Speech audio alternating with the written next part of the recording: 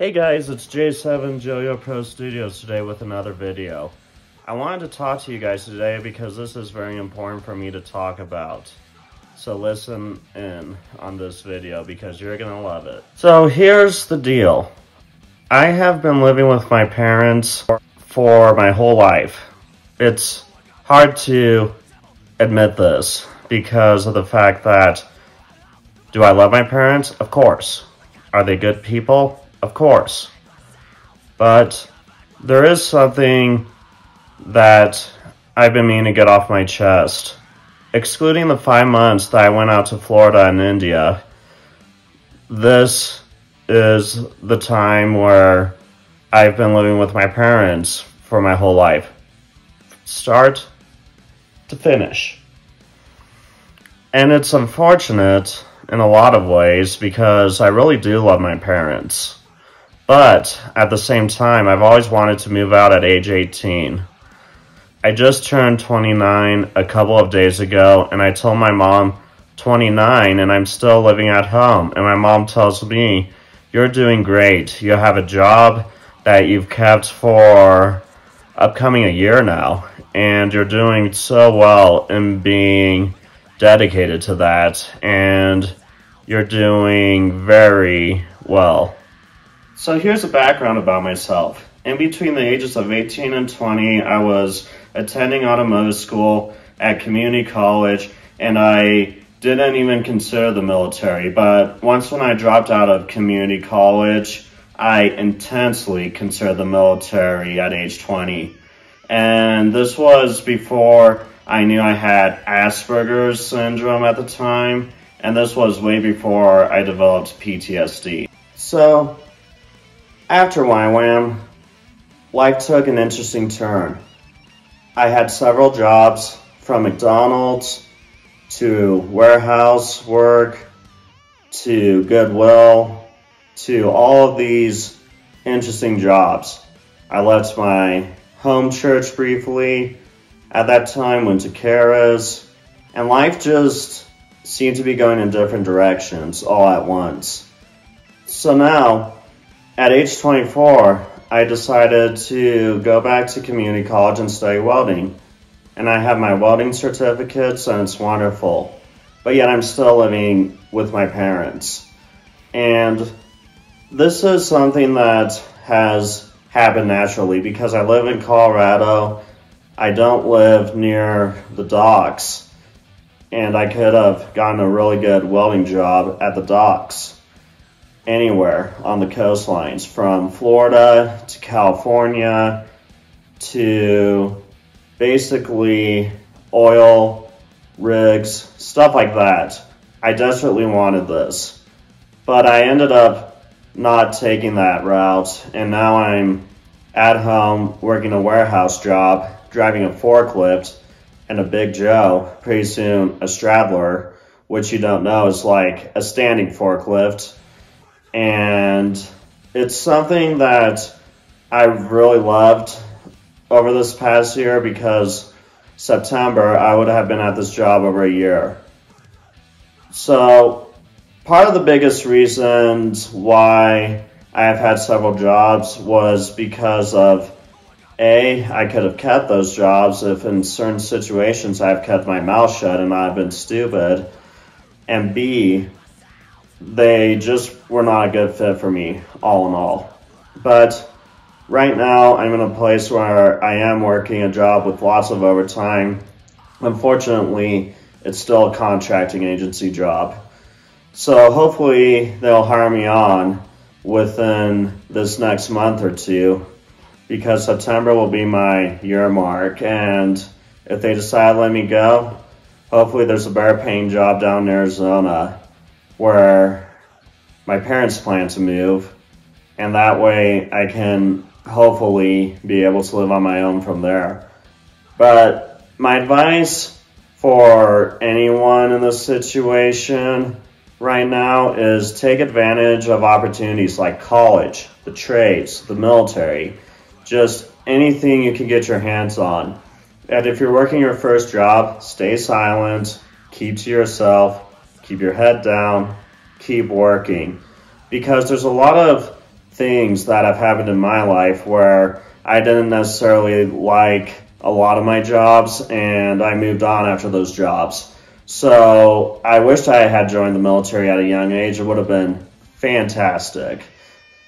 I'm hoping to get my next job, be able to get a place of my own with a roommate, and be able to actually start paying bills. Because it might not be nice paying bills, but I will understand what it's like to be independent. So, right now, we live in a society where a lot of kids are in their parents' house, and I'm one of them, don't get me wrong. But at the same time, we're enabling that. So, that's something that we need to look at. So, right now, I am at my parents' house. I sort of liked drawing, but became disinterested in that and then started to love music more. And my friend who has autism like me, he was wondering why I gave up on drawing, and I told him that simply because of the fact that I lost interest in it. So, living with my parents, do I feel like I'm still stuck on the platform? Yes, 100%. I'm on the launching pad and I am not taken off yet. I've been told a lot of times in my life how I'm doing great and wonderful things and that I will continue to do great and wonderful things. And that's really nice to hear. And I'm not demeaning that at all. It's just one of those deals where I just wish I could get off the launching pad, especially when you're a male and you have Asperger's syndrome and now PTSD. You don't understand social situations that well. You don't understand social issues that well. You want to learn where your skills lie. For me, I know for a fact that my interests and skills revolve around cars, metal music, and religion. So, this is something that I've been learning, especially during my spiritual emergency. It's something that has been really mind captivating me. It's something that I've been aware of this whole time. I've been wanting to move out of my parents' house for a long time now, but at the same time, everyone just laughs off and says, that's just not possible at your age. At least they said that to me before in the past. They said it to me while I was living in the present. They never said it about the future. So when I was 18, 19, 20, I envisioned leaving my parents' house at that age, and I would have loved it. But people said that's realistically impossible, and now there are sources and media saying that ex-military members and current military members have moved in with their parents. So I do believe that with the inflation, the rising costs of everything, the rising cost of living has caused us to stay at home with our parents. And the fact that there hasn't been anything to drive us into moving out of our parents' house at a young age is kind of a big deal.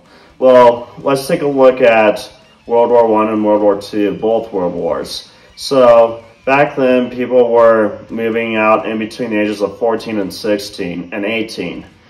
Back then, it was because they never had the technology we had today.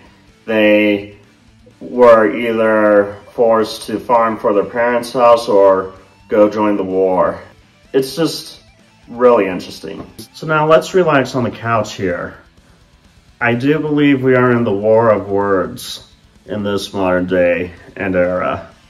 So that being said, if you are not religious or don't affiliate with Christianity in any way, I'm not forcing my beliefs down your throat. I just want to read a really good scripture that I've always loved in this day and age. It's in the book of the Bible, and the specific book is James.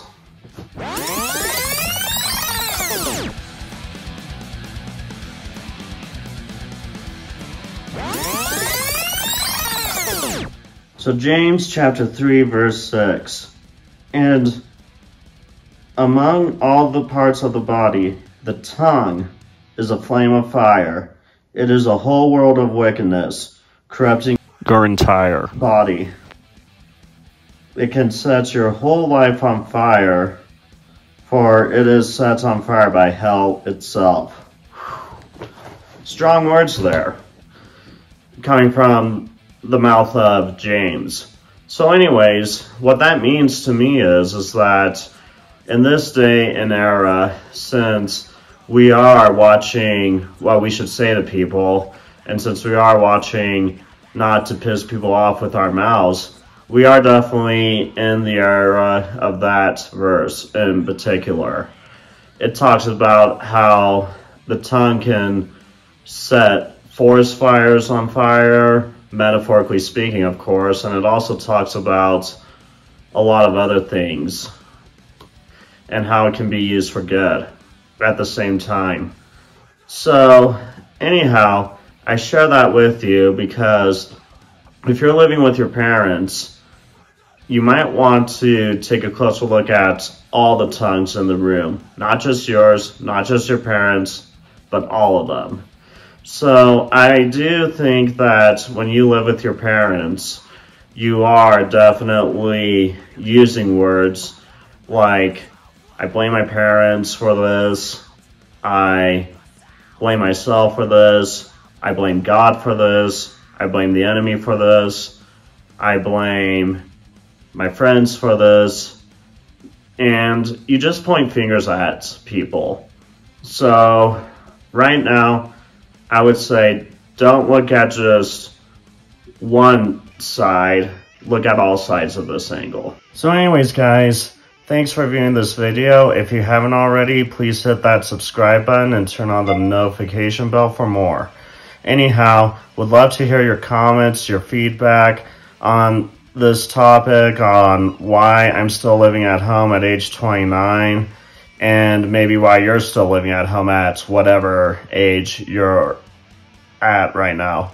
And would love to hear any feedback if I could have some help with this and how I can do more to move out of my parents' house. But as of right now, I'm staying and I'm hoping to move out soon and get an amazing job in Arizona or get hired on here for a while. So thanks. God bless, guys. May you always have a wonderful, amazing, blessed week.